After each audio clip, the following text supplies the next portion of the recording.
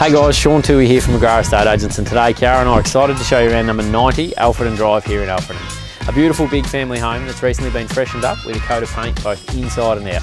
Let's check it out.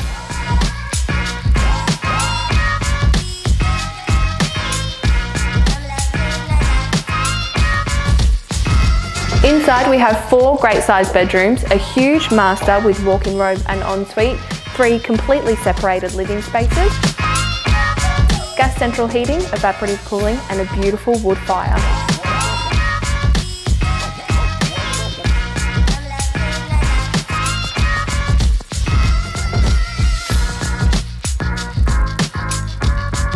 An incredibly functional floor plan caters for the growing family. Natural light floods through the home, which has no shortage of storage. The kitchen boasts a huge island bench, a walk-in pantry complementing the 900mm stainless steel oven and matching dishwasher. The fridge cavity is also plumbed.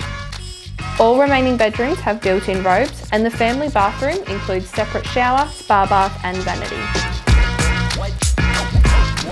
Outside the property is set on just under 700 square metres of land. We've got a double lock-up garage with direct access into the house and we've got excellent side access that comes down to an additional 9x5 Colorbond garage. And then we've got a cubby house, a veggie patch, plenty of room for the kids, plus an undercover alfresco entertaining area.